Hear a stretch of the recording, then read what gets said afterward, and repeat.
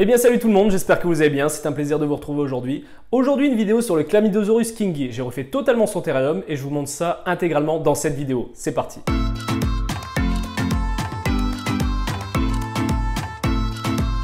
Avant d'attaquer, je voulais vous dire merci pour les 3000 abonnés. Ça monte de plus en plus, la chaîne progresse, que ce soit en termes de commentaires, de partage, etc. Donc merci à vous tous. C'est grâce à vous que tout ça est possible. Et merci encore à mon partenaire La Ferme Coléo et à mon autre partenaire, le groupe Pogona Passion FR.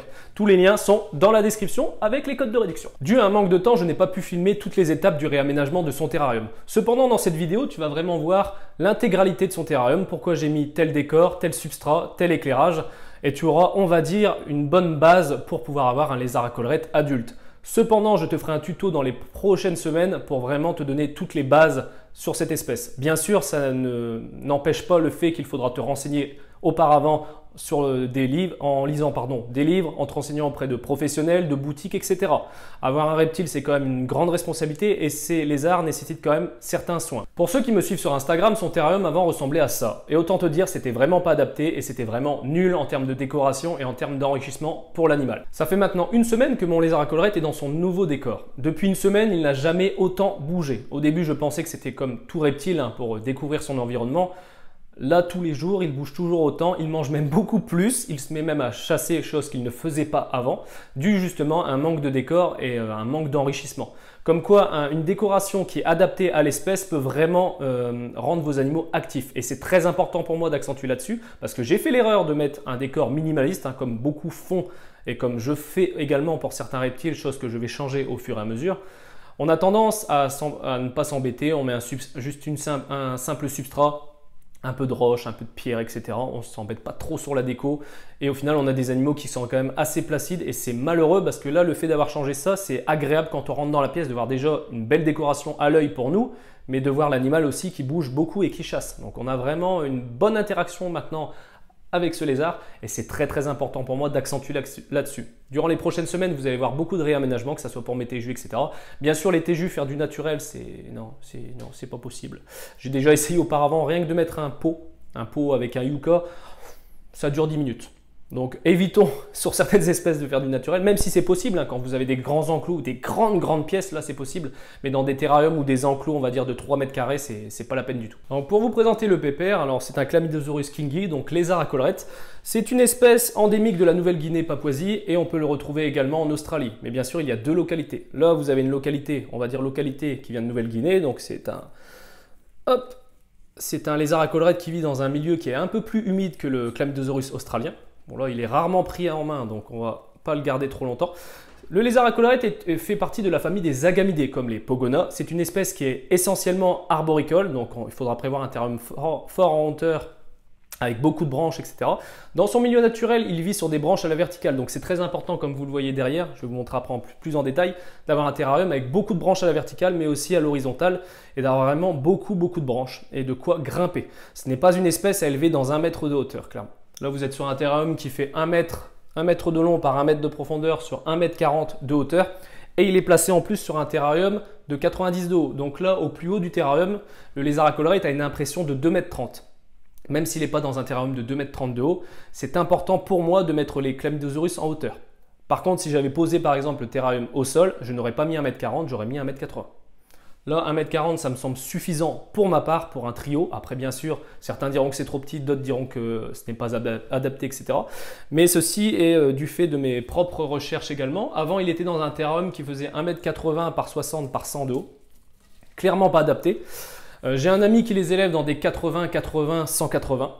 La plupart du temps, ils restent en hauteur. Ils descendent quasiment pas. Euh, moi, dans, ce terrarium, ça va faire deux ans qu'il y est. Il va autant en hauteur qu'au sol, tous les jours. Tous les jours, il va au sol, tous les jours, il remonte. Donc, euh, il est très, très actif. Au niveau euh, taille, alors là, on est sur un, adulte qui fait environ 53 cm. Alors, tout simplement parce que je l'ai eu à mon ami, il l'avait récupéré dans une animalerie et lui manquait une partie de sa queue. Donc là, il doit lui manquer à peu près euh, une bonne dizaine de centimètres.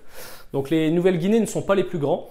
Les Chlamydosaurus australiens sont des spécimens qui peuvent aller, euh, ça peut arriver à 90 cm avec une collerette beaucoup plus grosse. Ils sont même beaucoup plus euh, épais que les nouvelles Guinées et nécessitent moins d'humidité. Mais ça, je vous en parlerai plus tard en vous décrivant un peu plus l'espèce. Pour rentrer un peu plus en détail dans ce terrarium, c'est un terrarium qui fait 1 mètre de long par 1 mètre de profondeur sur 1 mètre 40, comme je vous l'ai dit. Au niveau éclairage, on a deux rampes, d'ailleurs ça dégomme les yeux, on a deux rampes LED de chez Arcadia, je vous les mets juste là, disponibles sur le site, comme d'habitude de mon partenaire la ferme Coléo. Donc deux rampes LED Arcadia euh, de 15 watts, 30 hein, cm. Une rampe T5 de chez Arcadia, encore une fois, UVB 12.0. On a également un spot chauffant de 35 watts qui me propose un point chaud à 35, 38 degrés, hein, pas plus. C'est très rare qu'ils y vont, généralement ils y vont le matin et puis c'est tout. Au niveau décoration, comme je vous l'ai dit, beaucoup de branches à la verticale. Là, il a environ 1, 2, 3, 4, 5, 5 endroits où il peut se mettre à la verticale. Vous avez également euh, des plaques de liège sur le côté pour qu'il puisse grimper. Pour vous le montrer un peu plus en détail. Donc là, le terrarium qui est posé au-dessus du terrarium de Drogo. Hop, donc vous voyez la taille. Donc, comme je vous l'ai dit, les LED de chez Arcadia ici, ici. On a le spot chauffant, on a la rampe UVB ici T5, l'aération ici, donc une large aération. Donc on a plusieurs branches, hein, donc avec du liège. Donc une branche ici, une branche là, ici. Donc vous pouvez voir, hop, c'est vraiment très fourni. On a, alors maintenant, parce que je suis passé sur du naturel, j'ai laissé les plantes en pot. Donc je les ai euh, cachées avec du liège, hein, donc je les ai laissées en pot. Donc deux yucca. Alors par contre, je n'y connais absolument rien en yucca, donc euh, ne me demandez pas ce que c'est. Ça de mémoire, c'est un yucca euh, maya, hein, de mémoire ça doit être ça. Et ici, on a un yucca euh, classique. Après, je suis pas un spécialiste des plantes. Alors là, depuis que je les ai mis, les plantes poussent vraiment énormément. Le but par la suite, c'est que les plantes remontent jusqu'en haut du terrarium et ici aussi, pour vraiment qu'il puisse grimper dessus et au final prendre la chaleur euh, sur ses, sur ses branches, sur ses plantes, pardon. Donc vous voyez, il y a encore de la place pour qu'il puisse monter. Mais je suis très très content du résultat. Alors on voit pas les peaux, ça fait vraiment naturel. Alors ça paraît pas en vidéo, mais pour vous montrer, là je suis contre les terrariums, je n'arrive pas à toucher le fond. Hop. Donc les plantes poussent bien grâce au rampe LED. Au niveau du substrat, alors, vous avez ici, alors c'est un gros gros mélange, hein. donc selon les endroits, il a, a plus de substrat que d'autres.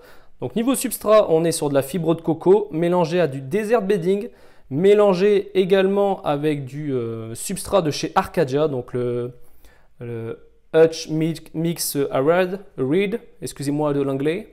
Je ne parle pas très bien anglais, enfin du moins de l'accent, mais c'est le substrat aride, substrat naturel de chez Arcadia. Donc ça donne vraiment un bon substrat qui est humide. Je vaporise tous les jours. Et ça permettra d'avoir un substrat où euh, par la suite ma femelle pourra creuser pour pondre. Donc, on peut le dire, c'est un terrarium euh, naturel donc pour Chlamydosaurus kingi. J'ai mis que deux plantes, donc deux yucca, mais il faut le temps que ça pousse. Hein. Je voulais pas directement prendre des grands parce qu'au final j'aurais pas eu le plaisir de voir euh, les plantes grandir. ils commencent déjà à sauter dessus. Pour l'instant, j'ai de la chance, les plantes ne tombent pas, donc je les ai plutôt bien calées, donc ça, je touche du bois pour l'instant. Pour l'instant, les plantes survivent. Euh, je vais sûrement par la suite rajouter des pousses, des pousses d'herbes sèches euh, dans certains endroits du terrarium au sol pour créer un aspect un peu naturel. Alors bien sûr, c'est très compliqué de reproduire son milieu naturel, mais là, je pense euh, avoir recréé quelque chose qui est beaucoup plus beau visuellement. Hein. quand je me décale, vous pouvez le voir, c'est vraiment, je, suis content de moi. Il faut le dire quand on est content. Je suis content. Franchement, je suis très content. Je vous vois venir. j'ai oublié, enfin j'ai oublié, j'avais plus de, colle pour coller euh, mon liège, donc il m'en manque un peu là et sur les côtés. Je vais en mettre par la suite. Je dois encore ajouter le système de pulvérisation automatique hein, donc, que vous avez vu dans l'unboxing hein, de chez Reptile Planet. Reptile Planet pardon. Je vais rajouter deux buses à ma lézard à collerette aussi. Euh, que dire de plus? Donc espèce insectivore, donc surtout bien saupoudrer de calcium vos insectes. On peut donner de temps en temps un rosé, mais c'est rarement euh, apprécié. Hein. Moi, euh, généralement, euh, on va dire, même si je lui en propose une fois par mois, des fois, il n'en veut pas. Ça reste que ça adore les criquets, ça adore les grillons. Donc vous pouvez en lâcher dans le terrarium et puis vous allez voir vos bêtes chasser. C'est très intéressant. Alors là, c'est le matin, donc forcément, il n'est pas très actif. Hein. il se demande quoi pour les vitres, je pars toujours sur du 6 mm. 6 mm pourquoi? Les vitres de 4 mm ont tendance à vite s'abîmer. Que ce soit en termes de griffes, en termes de saleté, etc. et ça se casse très très vite. Pour avoir déjà fait l'expérience, vous les cognez à peine, ça casse. Le 6 mm c'est très costaud, ça coûte un peu plus cher, mais plus facile à nettoyer et du coup plus durable. Donc vous allez en miroiterie, vous prenez en bord poli, ça coûte cher. Hein. Les deux vitres m'ont coûté 130 euros les deux vitres. Pour ceux qui se demandent, alors les structures alu que vous voyez là, il y a un site allemand, il faudrait que je retrouve le nom. Là, c'est pas, euh, je les ai pas acheté, je l'ai pas acheté pardon sur le site allemand cette structure. Donc c'est juste la structure. Hein. Les planches qui sont intégrées dedans euh, ne sont pas euh, inclus dedans. la structure, j'ai payé chez un ami de mémoire. Hein. 250 euros la structure et 300 euros de bois. Parce qu'il faut acheter en fait les planches. Donc j'ai dû acheter deux planches de 2,80 m sur 1m30 hein, et la découpe n'a pas été faite par eux. Mais euh, c'est du valchromate donc ça résiste à l'humidité. Sachant que j'ai mis des plaques de liège, le bois ne craint rien. Mais par la suite, je pense passer sur du PVC pour mes autres. Alors, les structures alu, c'est cher, certes, mais vous les gardez à vie. Ça supporte un poids. Alors, je vais peut-être dire des bêtises.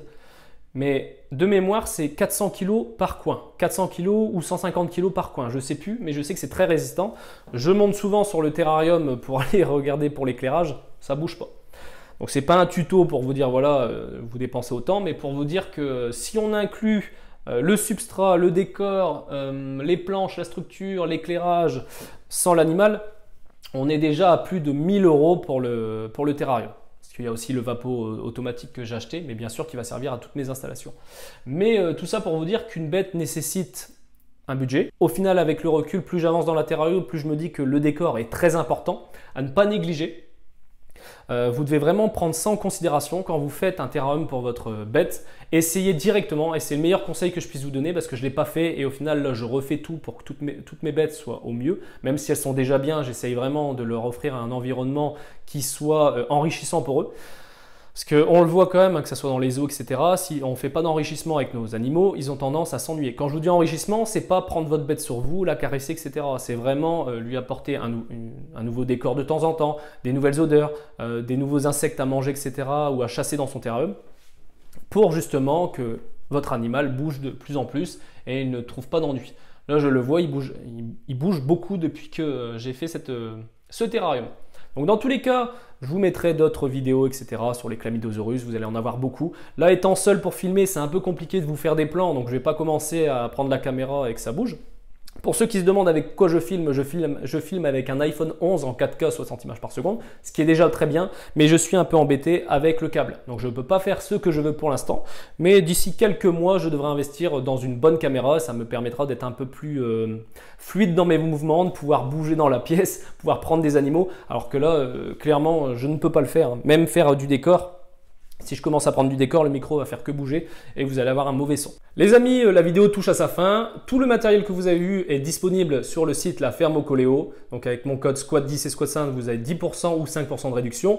Merci à mon partenaire Pogona Passion FR aussi de me soutenir comme d'habitude. N'hésitez pas à liker, partager, commenter et on se retrouve bientôt pour de prochaines vidéos. A bientôt la Squad